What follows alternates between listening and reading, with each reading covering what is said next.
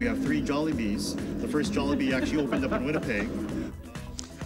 Tonight, a delegation of some two dozen Manitobans wrap up a healthcare recruitment trip to the Philippines. Details on how many nurses they help choose Friendly Manitoba coming up. This is CBC Winnipeg News.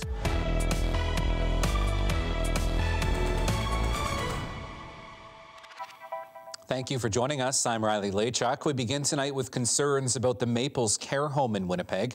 The daughter of a resident at that home says she has found her dad lying in his own urine on more than one occasion.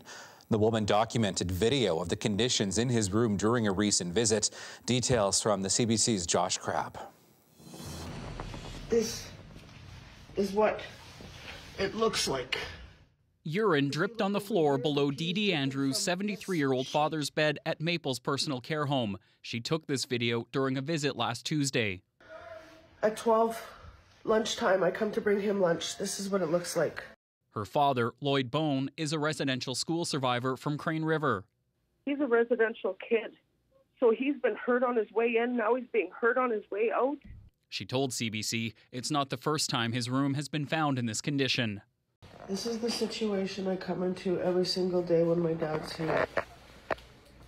Dirty bed, hair, pee.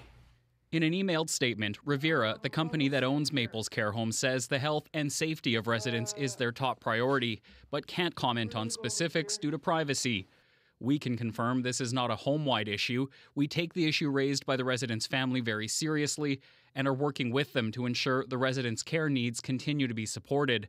Andrews wants her dad moved somewhere else. I mean, I feel helpless because I don't have that space and I just want to take him and let him even sleep on my couch. 56 residents died in a months long COVID 19 outbreak at Maples Care Home, one of the hardest hit care homes during the pandemic. That prompted a report commissioned by the province. It made several recommendations, including improving housekeeping and cleaning. A spokesperson for the Winnipeg Regional Health Authority says in a statement that WRHA is aware of the situation and we are confident Revera is working with the family to resolve any concerns. Andrews says she tries to clean her dad's room, but she works two jobs which doesn't leave her much time to help. Josh Crabb, CBC News, Winnipeg. The Seven Oaks School Division held an informational meeting tonight about potential staff and program cuts.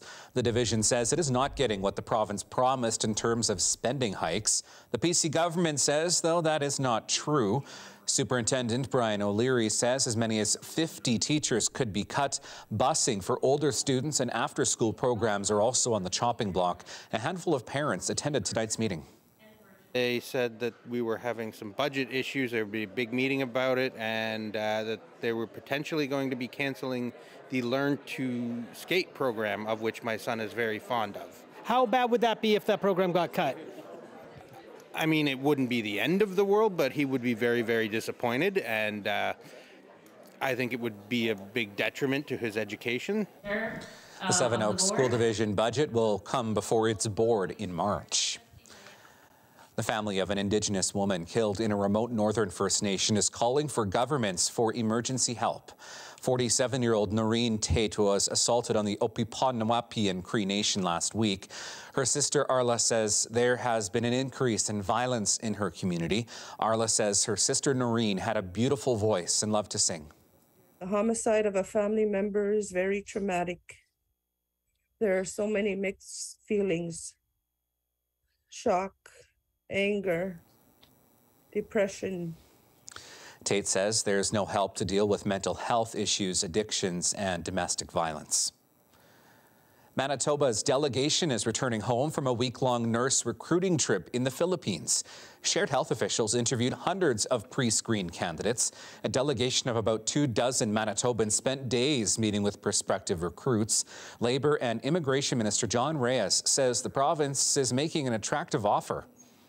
The nurses that are, that are going to be coming to Manitoba from this group will be well taken care of. Again, they'll have three months uh, in terms of, of housing support. Uh, their immigration will be taken care of, like the, the fees and uh, the, the, the transportation. Reyes says they are hoping to recruit 300 Filipino nurses to come to Manitoba over the next two years.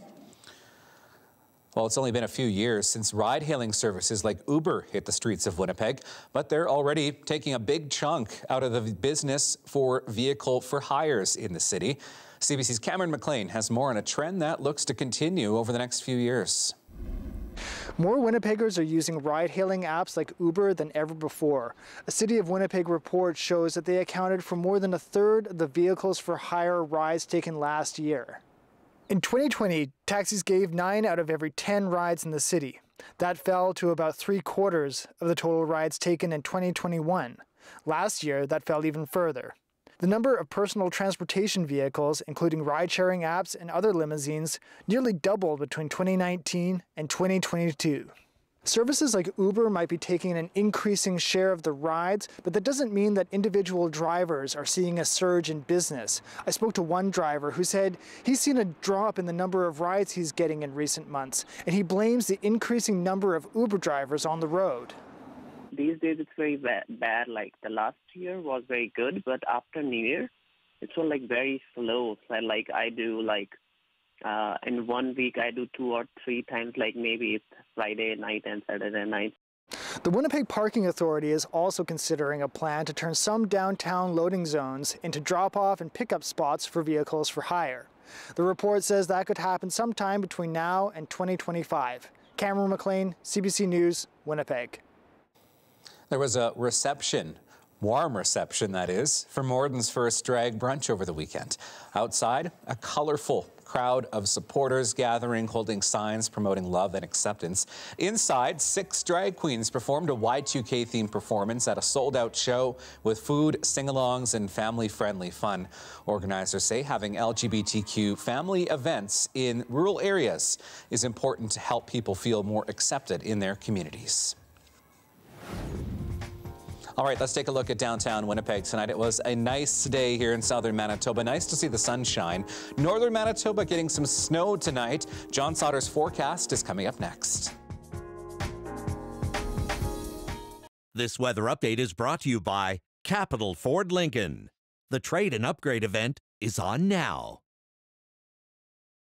Well, let's start in northern Manitoba because today about 5 to 10 centimeters was falling through areas like Flin Flon and over into Thompson, and there's more snow on the way tonight. You can see the system here on Futurecast rolling out to the east. Areas like Shamattawa and up into Gillam will pick up probably 10 to 13 centimeters of additional snow over the next 24 hours. Here in the south, it was all about the clearing this afternoon. Beautiful sunshine by about 4.30, and it looks like a sunny Tuesday on the way in southern Manitoba. Manitoba. Not quite as mild as it was today. Same with Wednesday. Wednesday will be the cooler day of the week, and then we start to see some milder weather again toward the end of the week. Here's a look at 24-hour snowfall amounts as we look at northern Manitoba by 4 o'clock on Tuesday, maybe around, uh, like I say, 10 to maybe up to 13 centimeters. The Northeast picking up the most as far as additional snowfall is concerned. Tonight here in the south, breezy but clear. Sunny day on the way for Tuesday, minus 13 in the morning, minus 7 in the afternoon. And then in the long range, we get those cool days I talked about, minus 9 on Thursday. Winds pick up, some snow at minus 1 on Friday, and mild weather on the way for the weekend.